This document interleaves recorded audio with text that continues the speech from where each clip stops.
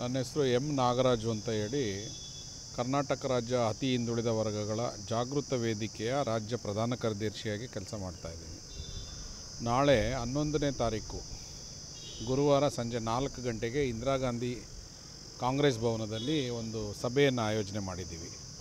ಈ ಸಭೆಯನ್ನು ಕರ್ನಾಟಕ ರಾಜ್ಯ ಅತಿ ಹಿಂದುಳಿದ ವರ್ಗಗಳ ಜಾಗೃತ ವೇದಿಕೆ ಮತ್ತು ಕೆ ಪಿ ಸಿ ಸಿಯ ಹಿಂದುಳಿದ ವರ್ಗಗಳ ವಿಭಾಗ ಜಂಟಿಯಾಗಿ ಸಂಯುಕ್ತಾಶ್ರಯದಲ್ಲಿ ಈ ಕಾರ್ಯಕ್ರಮವನ್ನು ಹಮ್ಮಿಕೋತಾ ಇದ್ದೀವಿ.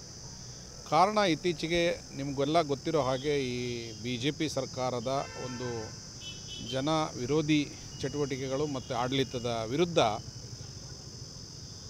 ಕಾಂಗ್ರೆಸ್ ಪಕ್ಷವನ್ನು ಬೆಂಬಲಿಸಬೇಕು ಅಂತ ಹೇಳಿ ಕರ್ನಾಟಕ ರಾಜ್ಯದಲ್ಲಿ ಇರ್ತಕ್ಕಂಥ ಶೇಕಡ ಅರವತ್ತಕ್ಕಿಂತ ಹೆಚ್ಚು ಜನಸಂಖ್ಯೆ ಇರುವಂಥ ಹಿಂದುಳಿದ ವರ್ಗಗಳು, ಅತಿ ಹಿಂದುಳಿದ ವರ್ಗಗಳು, ಅವಕಾಶ ವಂಚಿತ ಮತ್ತು ಶೋಷಿತ ಸಮುದಾಯಗಳನ್ನು ಒಗ್ಗೂಡಿಸಿ ರಾಜ್ಯದ ಎಲ್ಲ ಕ್ಷೇತ್ರಗಳಲ್ಲೂ, ಇಪ್ಪತ್ತೆಂಟು ಕ್ಷೇತ್ರಗಳಲ್ಲೂ ಕೆಲಸ ಮಾಡ್ತಾ ಇದ್ದೀವಿ.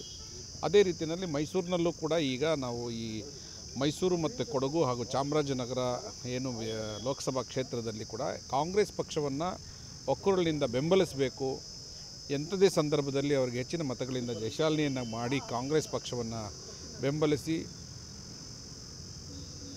ಕೇಂದ್ರ ಸರ್ಕಾರದಲ್ಲಿ ಕಾಂಗ್ರೆಸ್ ಪಕ್ಷ ರಚನೆ ಆಗೋ ರೀತಿಯಲ್ಲಿ ನೋಡ್ಕೋಬೇಕು ಅನ್ನೋ ಉದ್ದೇಶದಿಂದ ಒಂದು ಸಭೆಯನ್ನು ನಾವು ಕರೆದಿದ್ದೀವಿ. ಮೈಸೂರು ಸುತ್ತಮುತ್ತ ಗ್ರಾಮಾಂತರ, ಮೈಸೂರು ನಗರ ಮತ್ತು ಮೈಸೂರು ಗ್ರಾಮಾಂತರ ಮತ್ತು ಚಾಮರಾಜನಗರ, ಎಲ್ಲ ಜಿಲ್ಲೆಯ ನಮ್ಮ ಅಖಿಲ ಕರ್ನಾಟಕ ರಾಜ್ಯ ಅತಿ ಹಿಂದುಳಿದ ವರ್ಗಗಳ ಜಾಗೃತ ವೇದಿಕೆ ಮತ್ತು ಕೆ ಪಿ ಸಿ ಸಿ ಹಿಂದುಳಿದ ವರ್ಗ ವಿಭಾಗದ ಎಲ್ಲ ಸದಸ್ಯರುಗಳು ಕೂಡ ಎಲ್ಲ ಎರಡೂ ಲೋಕಸಭಾ ಕ್ಷೇತ್ರದ ಮೂಲೆ ಮೂಲೆಯಿಂದಲೂ ಬರ್ತಾ ಇದ್ದಾರೆ. Nandini, Bharat news TV, Mysuru.